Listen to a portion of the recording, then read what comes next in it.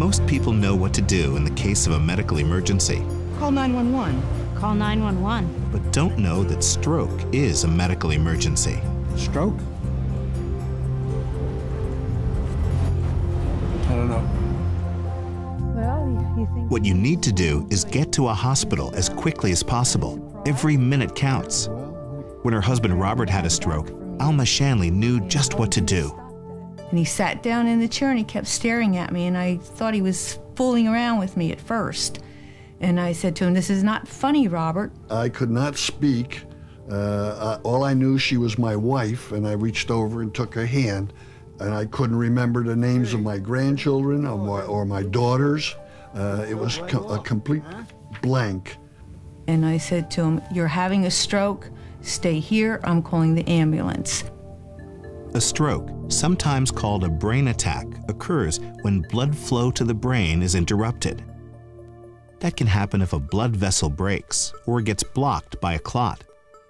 When someone has a stroke, brain cells in the immediate area begin to die because they stop getting the oxygen and nutrients they need. Somehow we have to get the hopeful message out that there is something you can do. It's not hopeless. And I think four or five years ago that was pretty much true. But now it's changed vastly. And the change is that now you can do something. In the past, people often struggle to live with serious disabilities after a stroke, but they don't have to accept those limitations now. Today, people have a much better chance for a complete recovery. Effective treatment is available for strokes caused by a blood clot, and that's about 80% of all strokes. He made it to the hospital, I would say, in probably 25 minutes from when he left here. And six days later, he walked out of the hospital. And I think that's a miracle. I really do. We've been able to develop a drug, TPA, which you can inject in a vein, goes through the body, but it knows where the clot is. It goes and locks onto that clot and dissolves it, and the blood starts flowing again. New treatments can limit the disability caused by a stroke, but you need to know the signs and act in time. Here are the signs to look for in yourself or those around you. Sudden numbness or weakness in the face, arm, or leg, especially on one side of the body.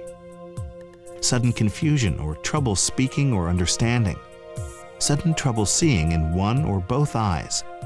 Sudden trouble walking, dizziness, loss of balance or coordination. Sudden severe headache with no known cause. If you experience any of these symptoms, you need to get to a hospital right away. Even if they go away quickly, it may still be a stroke. Stroke is really a block or a break in a blood vessel in the brain. If it is on a specific side of the brain, usually that's the left side of the brain, then people will have a great deal of trouble either saying things or understanding things, and sometimes both. When someone has a sudden loss of function, they should, without delay, call 911 and get to the hospital. It's that type of a medical emergency where you don't have time to call your doctor's office, you don't have time to discuss it with a friend. The patient, or more properly, the person with the patient, call 911, get to the hospital. Because stroke injures the brain, the person having one might not realize it. In this demonstration, other people recognize the signs of a stroke and call 911. Mom! What happened? Mom can't hear. I don't know. She just suddenly stopped. An alert family member or bystander can be a real hero.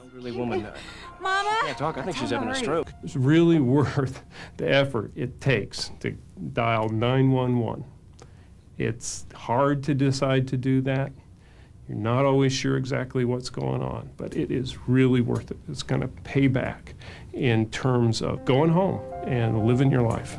They have to get there early to get the best treatment. They need to be examined by doctors. Close your eyes. They need brain scans, like CAT scans, to know what the best therapy is. The big pictures turned out shows all the details of your brain and makes it very obvious uh, whether there's bleeding or not in your brain. It also helps to know if you, or those you care about, are at risk for stroke. Take Sylvia Saxton, for example. Despite high blood pressure, diabetes, and a family history, her stroke came as a surprise.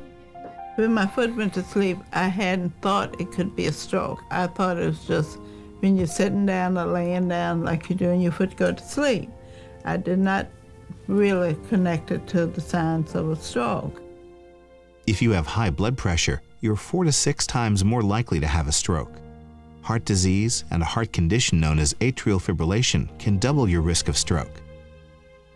Your risk also increases if you smoke, have diabetes, sickle cell disease, high cholesterol, or a family history of stroke. Strokes are preventable. They can be prevented. They can also be treated. Years ago, we couldn't do that. Now we can. We want people to be aware of their body, know those numbers, their blood pressure, their glucose, their cholesterol. Uh, all of that's important. It's so important to uh, just watch my health in every way. Try to watch my weight, try to keep the pressure down. It's just so important to try to stay healthy so you won't have another stroke. Stroke touches so many American families. It's the third leading cause of death and a leading cause of serious long-term disability. But today, there is effective treatment that can prevent or reduce those disabilities. The key is know the signs, act in time. If you think someone is having a stroke, if they suddenly lose the ability to speak or the ability to move their arm or leg on one side, or if they have weakness on one side, don't wait. Call 911 immediately. You can have your life back after a stroke if you know the signs and act in time. We can go on with our life, we can enjoy our life, we can enjoy our children, our grandchildren. It means that grandpapa is going to be around, that uh, mom's going to be there to enjoy Christmas with you, all of those things that make life worthwhile, simply because we all understood and acted on the signs of a, a stroke. Okay. You get me